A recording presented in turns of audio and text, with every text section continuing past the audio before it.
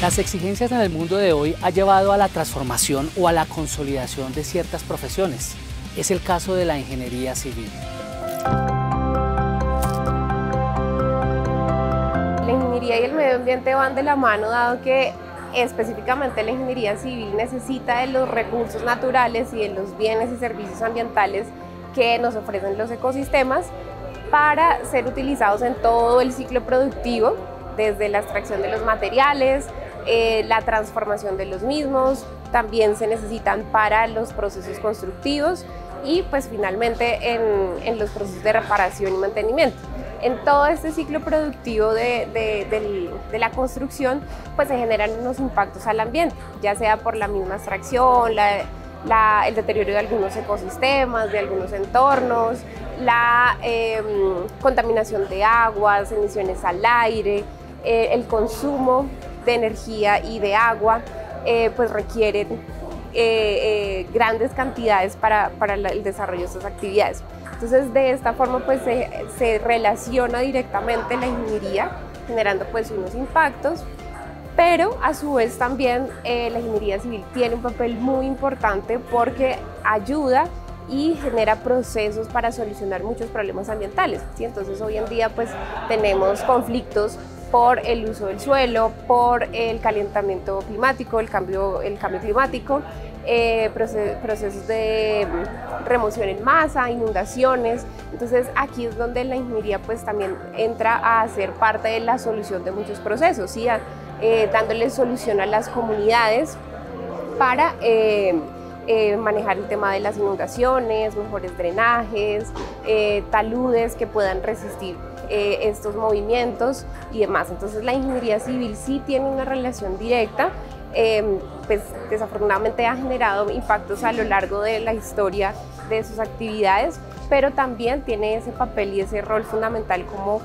agente solucionador de, estos, de estas problemáticas.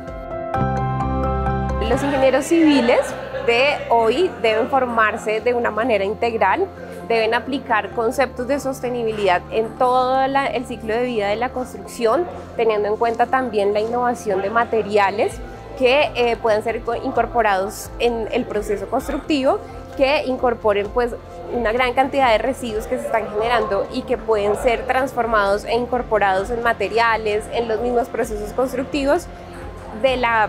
obra o de la infraestructura que se esté desarrollando o también crear eh, sinergias y unas em, conexiones con otras industrias, ¿sí? que se pueda generar pues todo el concepto de economía circular alrededor de esta actividad productiva. ¿sí? Esa es otra de las competencias. También eh, el uso de tecnologías y herramientas que hoy en día nos ofrece toda la industria 4.0, ¿cierto? Como eh, la utilización de drones, para hacer levantamientos topográficos, para mejorar eh, las inspecciones de obra, para eh, realizar también algunos estudios geológicos. También se pueden implementar tecnologías como la inteligencia artificial para hacer los procesos constructivos mucho más eficientes, más inteligentes en términos de mejores tomas de decisiones, análisis de datos, eh, otras herramientas como las em, herramientas BIM que ayudan a que eh, se, se, tenga en cuenta toda la eh, obra, toda la concepción de la obra de una forma más eficiente y que también pues, se puedan tomar mejores decisiones en cuanto al uso de materiales, la gestión de los residuos, los tiempos constructivos. Entonces, digamos que la ingeniería civil tiene muchos retos y puede hacer uso de esas herramientas tecnológicas en pro y en favor también de eh, una sostenibilidad y un mejor desempeño ambiental.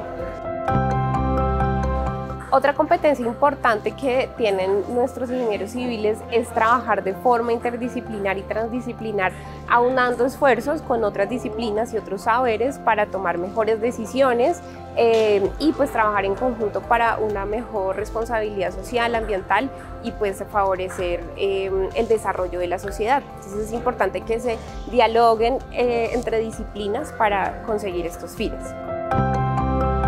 La Asociación Colombiana de Facultades de Ingeniería Civil anualmente realiza un evento académico en el que se presentan trabajos de enseñanza en la ingeniería y la Universidad de la Gran Colombia, particularmente la Facultad de Ingeniería Civil, tuvo la posibilidad de participar con un trabajo que se desarrolló en el que se eh, identificó cómo se involucraba la dimensión ambiental en nuestro programa de ingeniería civil y encontramos pues unas em, bondades que tiene nuestro programa. Contamos con varios cursos en donde a los estudiantes se forman en competencias ambientales eh, como la ecología, la gestión ambiental, manejo de impactos, eh, la ingeniería civil sostenible, el, uso de, materiales sostenibles dentro de alguno de los cursos que se realizan, electivas eh, en ambiente. Entonces, esto hace que nuestro programa pues, eh, tenga ciertas fortalezas en nuestros ingenieros civiles que estamos formando. Eh, este premio pues, fue obtenido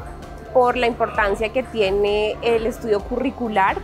eh, y pues las necesidades de mejorar nuestros programas y ofrecer mejores eh, profesionales que sean más responsables con, con, el tema ambiental, ¿sí? además de los demás campos y de las demás habilidades y competencias que deben adquirir.